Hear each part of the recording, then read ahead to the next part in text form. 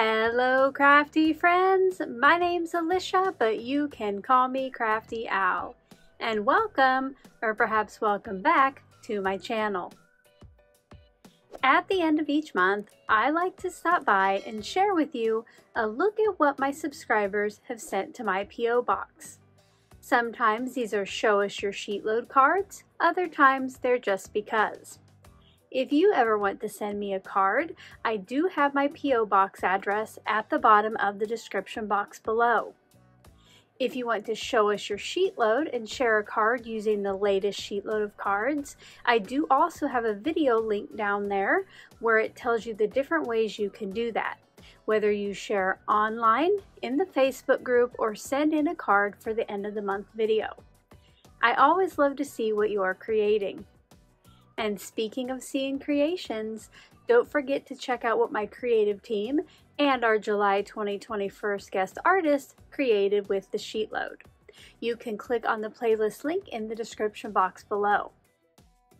Let's go ahead and see what's in the envelopes. Before I get to opening that mail, I did have a special channel member shout out. I would like to say thank you and welcome to my newest paper trimmer level members, Jean M. and Fraulein Erdbeerly. And thank you as well to all of my channel members.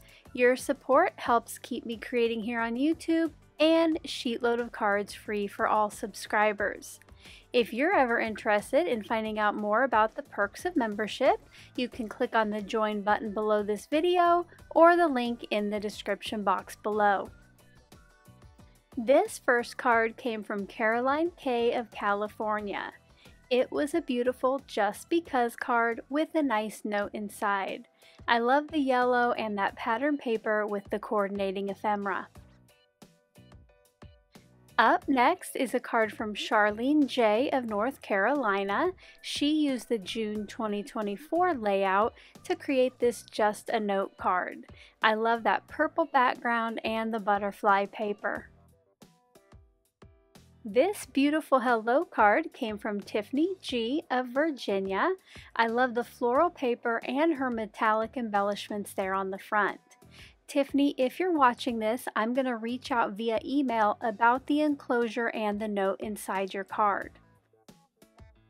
You might have noticed that Tiffany's card was a fun fold, and so is this card from Connie Yu of Nevada. Loving the gorgeous florals with the blue paper, and especially how she has added the extra floral stamps and die cuts to the focal point. She used the layout from the June 2022 sheetload of cards. Next up was this beautiful and bright card from Mary B. of Washington.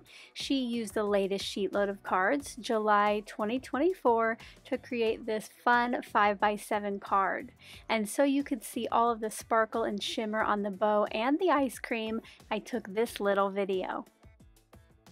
And last but not least was a package from Kathy of California, and it was packed full of crafty goodness.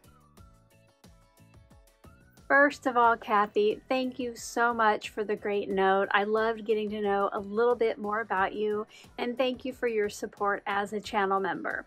Now let's take a look at all the little goodies she shared with me. First up are some faceted gems from Stampin' Up. These will always come in handy to add some bling to my cards. And speaking of bling, the Festive Pearls. I love that blue color and the metallics. Here is a paper pad that she says is retired. It is called Flowers for Every Season. Let's flip through it.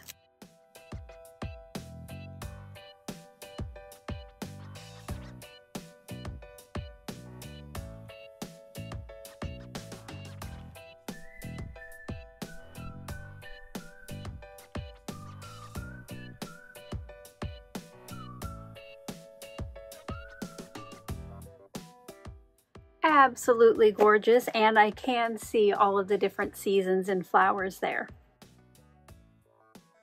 And speaking of seasons, here are some snowflake embellishments in white, gold, and kind of an orangey metallic. This is called Fully Flowering Ephemera Pack. Let's see what these look like. Ooh, they're a variety. I thought maybe all the sheets were the same. Super pretty. So it looks like there are two of each sheet. I like how they leave you some you can color, but you know me, I might do like a colorful background and then do the image and just leave that image in black and white. So pretty, and they just punch out real easily, it looks like. And another paper pack. This one is called Bright and Beautiful 6 by 6 Ooh, some pretty like watercolor look papers.